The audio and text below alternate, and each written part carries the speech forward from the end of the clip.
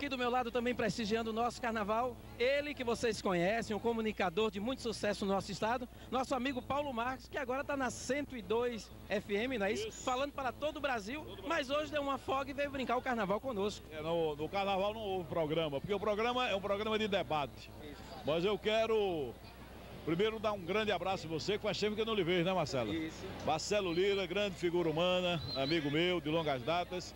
E o meu amigo Marinho, que está por trás da câmera. Nós estamos aqui no Carnaval de Jaboatão, que está se constituindo num dos maiores carnavais de Pernambuco. Ontem eu fui a Picerros ver o Carnaval do Papangu, ou dos Papangus. Está muito bom muita gente animada. E hoje, a convite do prefeito Fernando Rodovalho, eu estou aqui. Né, vai ter alegria aqui com Jair Rodrigues, Vanderleia. A Isadora Ribeiro também está aí.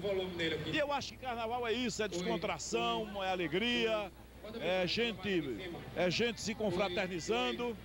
E eu quero desejar a, a todos um bom carnaval e que Deus proteja muito vocês com esse trabalho que vocês estão fazendo pela televisão. Ok. A gente é que agradece a sua atenção e espero que você se divirta no nosso carnaval. Muito obrigado, Marcelo. Eu preciso até depois conversar com você para que você me dê novamente aquele CD que você tem gravado de toda a minha trajetória profissional.